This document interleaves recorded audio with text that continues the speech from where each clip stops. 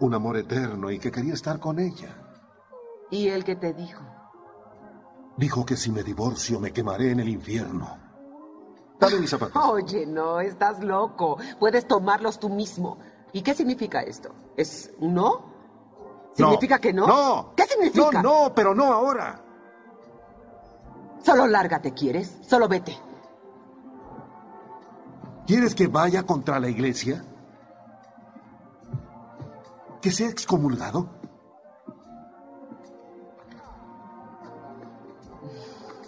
De acuerdo.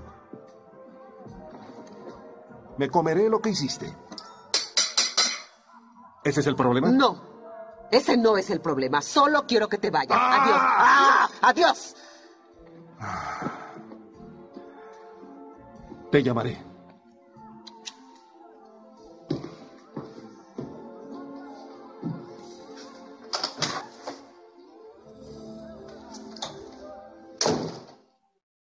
Tú renuncias solo porque no va a dejar a su esposa? No, no es solo porque no va a dejar a su esposa. Renuncia por muchas razones. Es algo que debo hacer. ¿Y qué pasará con el acto, ¿Cómo eh? que ¿Qué pasará con el acto? Conseguirán a alguien, no es una gran pérdida. Tú organizaste todo, elegiste las canciones, nos dijiste dónde pararnos y qué hacer. Sí, sí, sí, soy un gran genio, un gran genio, por eso estoy empacando. Y no metas más de mi maquillaje en ese bolso, no creas que no sé lo que haces. ¿Qué quieren? ¿Qué? ¿No sabes tocar la puerta? Oye, Linda, no tienes nada que no haya visto antes, ¿de acuerdo? Sí, pues intenta no memorizarlo. Oye, Michelle. Ah, por favor. Oye, Deloris, ten.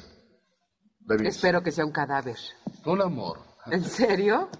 Sí. ¿Y por qué no lo trajo él mismo? Lo deseaba, pero tiene una reunión ahora. O- oye, Tina. Hola. ¿Quieren despedirse de estos tontos, por favor? Me duele la cabeza y no los quiero aquí. Lárguense. Vamos. De acuerdo, ya voy.